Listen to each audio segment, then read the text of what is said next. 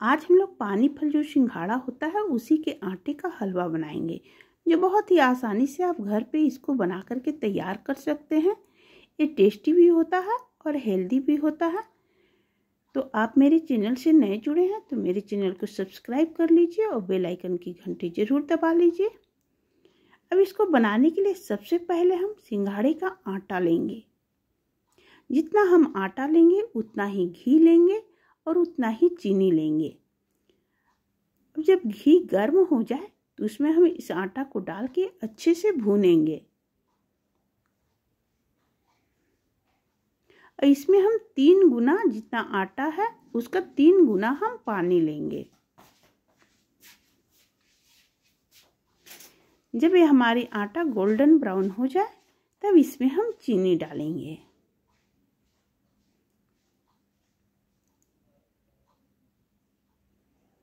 चीनी डाल के ऊपर से इसमें हम तुरंत पानी डाल देंगे। अब इसको अच्छी तरीके से हम चलाते रहेंगे। आपको देखने से लग रहा हो कि ये बिल्कुल पतला हो चुका है, लेकिन ये तुरंत ही गाढ़ी हो जाएगी जम के। स्वाद के लिए इसमें हम थोड़ी सी इलायची डालेंगे। अब इसको हम लगातार चलाते रहेंगे। देखिए, बिल्कुल गाढ़ा हो चुका है। और जब ये पक करके तैयार होगा तो घी अपने आप बाहर आने लगेगा, जिससे आपको पता भी चल जाएगा कि बिल्कुल आपकी हलवा बन करके तैयार है। अब हम एक थाली में थोड़ी सी घी लगा लेंगे। इसको चारों ओर अच्छे से मिला करके हम उसको फैला लेंगे। देखिए, हमारी हलवा एकदम बिल्कुल तैयार है।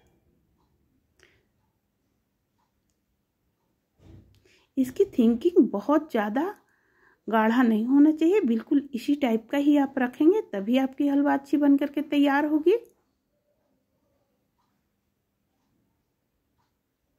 अब इसको हम थाली में निकाल लेते हैं।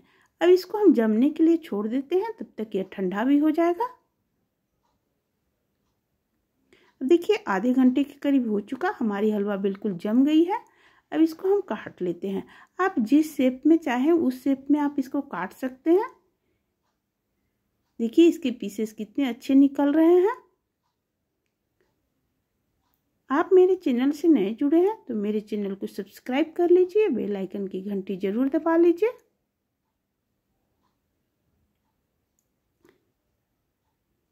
ये बहुत ही टेस्टी हलवा बनकर के तैयार होते हैं। आप किसी भी व्रत में इसको खा सकते हैं।